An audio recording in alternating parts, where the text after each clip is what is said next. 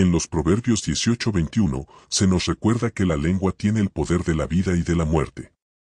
Como jardineros de la comunicación, somos responsables de cuidar cada semilla lingüística que plantamos en los jardines de los corazones de otros. Cada palabra que pronunciamos puede ser un acto de siembra, destinado a florecer en armonía y comprensión, o una semilla de discordia, destinada a ahogar las raíces del entendimiento mutuo.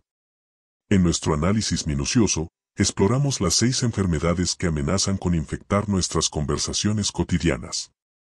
Al igual que un médico diagnostica y trata las dolencias del cuerpo, nosotros debemos ser médicos de la palabra, identificando y curando las enfermedades que afligen nuestra comunicación. Con cada conversación, tenemos la oportunidad de sanar heridas y construir puentes hacia un entendimiento más profundo entre nosotros. Antes de empezar, te animo a suscribirte para no perderte más vídeos sobre temas fascinantes como este. Amén. La primera enfermedad del alma, la grosería y el uso del lenguaje vulgar, representa una clara transgresión de los principios de pureza, santidad y respeto enseñados en la Biblia. Efesios 4, 29 nos exhorta a que ninguna palabra corrompida salga de nuestra boca, sino que todas sean para edificación y dar gracia a los oyentes.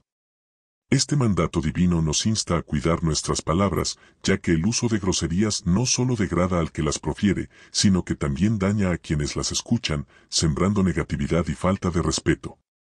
Colosenses 3, 8 nos llama a desechar todas las formas de malicia, incluyendo las palabras obscenas, reconociendo que como seguidores de Cristo, debemos ser ejemplos de conducta en todas las áreas de la vida, incluso en nuestra expresión verbal. El lenguaje vulgar contamina nuestro discurso y debilita nuestro testimonio como seguidores de Cristo. En lugar de recurrir a palabras bajas y ofensivas, se nos anima a utilizar nuestra habla para edificar a otros, transmitir bendiciones y reflejar el carácter de Dios. Eliminar la grosería de nuestro vocabulario no es simplemente una cuestión de etiqueta, sino una expresión de nuestra fidelidad y obediencia a Dios.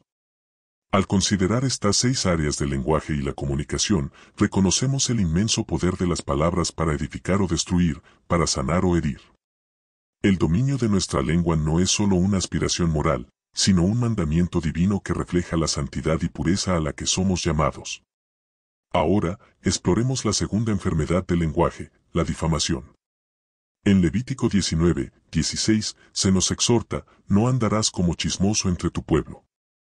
El chisme, esa práctica insidiosa de propagar rumores y hablar maliciosamente de otros, socava la confianza y destruye los vínculos de solidaridad entre las personas.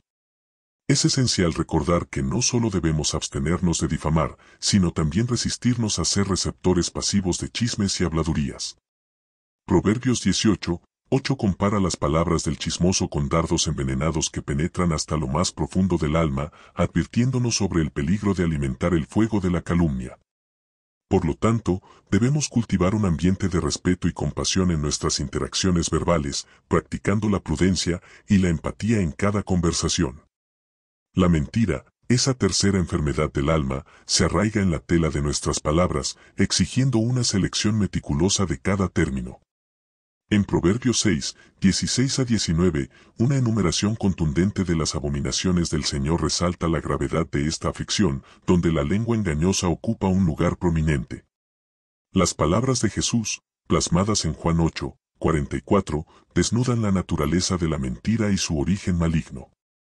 Cada mentira pronunciada es un eco de la falsedad inherente, un tributo a su Padre, el cual es el mentiroso supremo. Esta enfermedad, arraigada en lo más profundo del ser, tiene consecuencias eternas, como se revela en Apocalipsis 21, 8, donde los mentirosos están destinados al lago de fuego y azufre, la segunda muerte. En el libro de Proverbios, la quinta enfermedad del alma se revela como la murmuración. Proverbios 18, 8 nos advierte, las palabras del chismoso son como golosinas, descienden hasta lo más íntimo del ser. Esta descripción pintoresca ilustra cómo la murmuración, con su atractivo efímero, penetra hasta el núcleo mismo del ser, dejando su marca corrosiva. El Salmo 41, 7 lamenta, todos los que me odian, murmuran juntos contra mí, contra mí traman maldad. Esta expresión poética de la experiencia humana resuena con la amargura de aquellos que son el blanco de los murmuradores.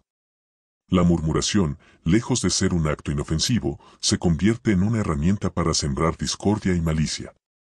En Proverbios 16, 28 se nos advierte sobre el papel destructivo de la murmuración en las relaciones interpersonales, el hombre perverso siembra contiendas y el chismoso separa a los mejores amigos. Esta advertencia nos recuerda el poder corrosivo de las palabras susurradas en secreto, que pueden dividir incluso las relaciones más sólidas. Además, en Santiago 4, 11, se nos exhorta, hermanos, no murmuren unos contra otros. El que habla mal de un hermano o juzga a su hermano, habla mal de la ley y la juzga. Y si juzgas a la ley, ya no eres un hacedor de la ley, sino un juez. Esta admonición nos desafía a abstenernos de la murmuración, recordándonos que cada palabra negativa pronunciada contra otro refleja un juicio sobre la ley misma. En última instancia, la murmuración se revela como una enfermedad del alma que corroe la comunidad, divide a los amigos y socava la unidad. Nos incumbe a cada uno de nosotros resistir la tentación de participar en la murmuración y en su lugar, buscar la edificación y el amor en nuestras palabras y acciones. La sexta enfermedad del alma que vamos a explorar es la tendencia a hablar en exceso, una aflicción tan común que a menudo se percibe como algo normal, aunque no lo sea. El libro de Proverbios, en el capítulo 10, versículo 19, nos advierte, en la multitud de palabras no falta pecado, mas el que refrena sus labios es prudente. Esta sabia advertencia subraya la importancia de controlar nuestra lengua para evitar caer en transgresiones. Otra versión de este versículo nos recuerda que cuando nos dejamos llevar por un flujo incontrolable de palabras, es inevitable cometer errores. La verdadera sabiduría reside en aquellos que pueden dominar sus labios. Esta misma sabiduría bíblica nos alerta contra el uso excesivo de palabras en nuestra comunicación con lo divino. Esta advertencia se encuentra en Eclesiastés 5, 12, donde se nos instruye a entrar en la casa de Dios con oídos abiertos y boca cerrada.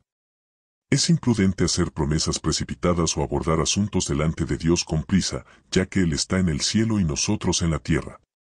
Este es un recordatorio crucial para todos nosotros, ya que nos ayuda a reconocer la importancia del silencio respetuoso y reflexivo en comunión con lo divino. Por tanto, es sabio hablar con mesura. Si no estás dispuesto a entregar tu vida a Dios, no le digas que estás entregando todo, porque Dios te pedirá cuentas por las palabras que pronuncies en su presencia. Más adelante en el mismo capítulo, la Biblia indica que un ángel registra lo que decimos cuando hablamos, oramos o adoramos. Un día seremos confrontados por ese ángel y por el registro de nuestras palabras. La Biblia dice que será demasiado tarde para decir no quise decir eso, porque seremos responsables de todo lo que dijimos. Un día esas palabras serán presentadas ante nosotros y tendremos que responder por ellas. Que nuestras palabras se conviertan en un reflejo de una vida transformada, capaz de transmitir vida, esperanza y amor. Que podamos ser mensajeros de la verdad y el amor de Cristo, utilizando nuestras palabras para construir puentes de entendimiento y caminos de paz. Recordemos la responsabilidad que llevamos en nuestras lenguas y permitamos que la sabiduría divina gobierne nuestras conversaciones, transformando nuestras palabras en instrumentos de edificación, amor y gracia. Te animo a suscribirte para no perderte más vídeos sobre temas fascinantes como este. Amén.